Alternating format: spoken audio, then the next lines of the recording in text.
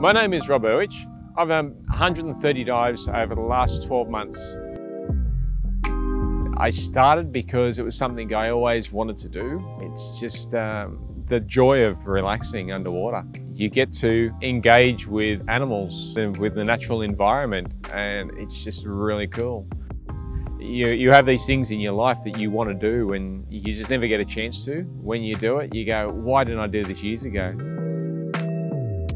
Today, we're at Shellharbour, a site called Bushrangers Bay.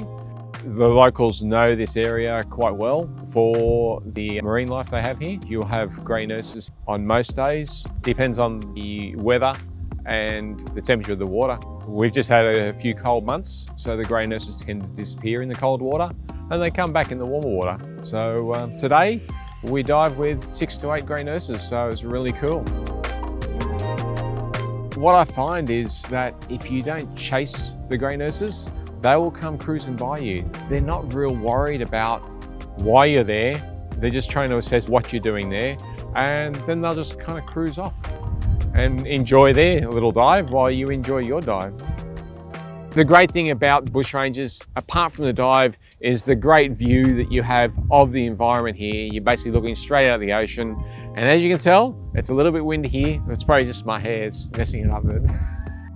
From Bushrangers itself, you can actually drop out to the ocean and down to 26, 27 meters.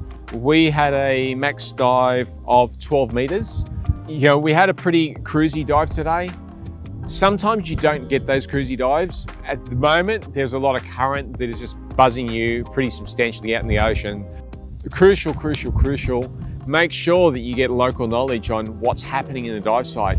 As I said, there's a ripping current out there. If we dived in the current, we would have ended up not coming out here, probably having to get rescued by marine rescue or something like that. So wouldn't have been a fun dive, I don't think. As I say, this dive was a brilliant dive. We got to be in the moment, enjoy the natural environment, the marine life. It's just been great, great diving here and it just gives you the energy for the day to go and do whatever you need to do.